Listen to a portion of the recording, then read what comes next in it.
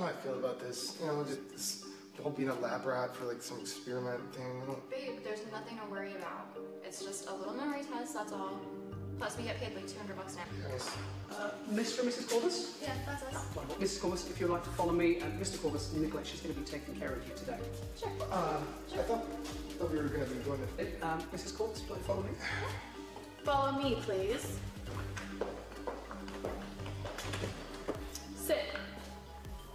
I get a treat if I do.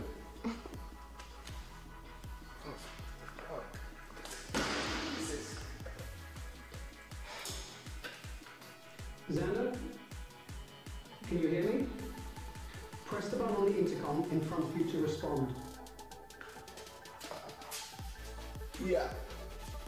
Perfect. Now, Xander, you're about to take part in a very simple memory exercise. Using the intercom identical to yours, Mrs. Corbus is going to read out a number of words in a very specific order. You will need to repeat these items back to her in the exact same order. If you get an item wrong, you will receive a punishment. Now, is that clear? Uh, yeah, okay. To prevent cheating, your wife is going to be communicating with you from another soundproof observation room. You cannot see her, and she cannot see you. Okay. My assistant will be on hand to administer the punishment should you give her the wrong answer. Now, shall we begin?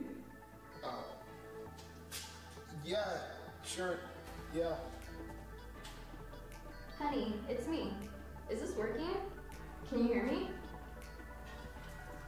Yeah, yeah, I gotcha. Okay, we got this.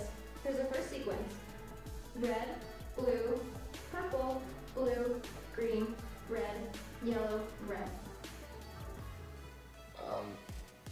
Uh, red, blue, purple, green. Incorrect. Nicolette?